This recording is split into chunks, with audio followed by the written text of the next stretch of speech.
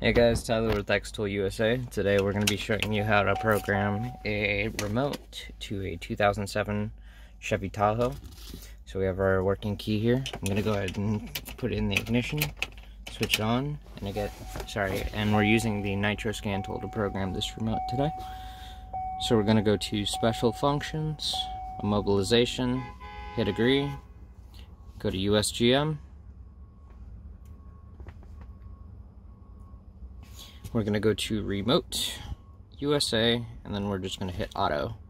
And it pulls it as a CAN type 1 I'm gonna hit program remote. It says press and hold the lock and unlock buttons on the remote together until you hear a chime from the vehicle. So I'm gonna press and hold the lock and unlock buttons together. There's the chime from the vehicle. And then uh, we're gonna just wait out the 60 second wait time. And once it's done that it's out of programming mode and we're good to go pretty much. Um, but as you can see, the remote is already programmed, so I'm not going to make you guys wait out this 60 second wait time. That's all there is to it. Thanks, guys.